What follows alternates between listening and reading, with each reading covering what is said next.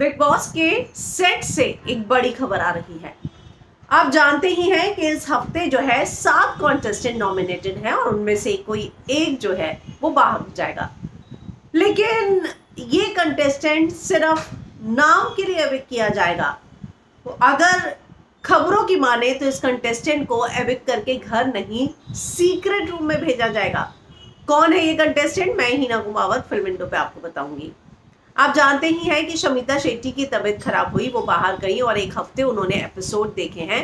ऐसे में अब खबर आ रही है कि करण कुंद्रा भी एविक्ट हो सकते हैं इस हफ़्ते और उन्हें दो दिन के लिए सीक्रेट रूम में रखा जाएगा।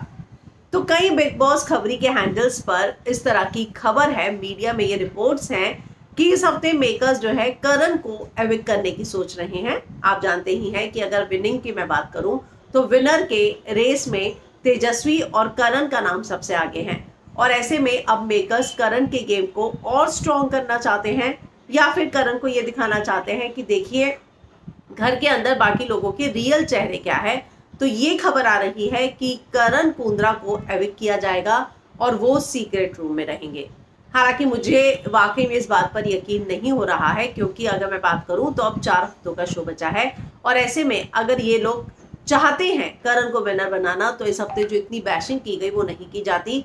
ये साफ़ साफ़ एक नैरेटिव तैयार कर दिया गया कि करण विनर के लायक नहीं है। अगर विनर की ट्रॉफी किसी को मिलनी चाहिए तो वह तेजस्वी प्रकाश को इस तरह का एक पूरा नेट जो सेट नैरेटिव होता है, वो इस वीकेंड का बार में तैयार किया होगा, और ये लगा।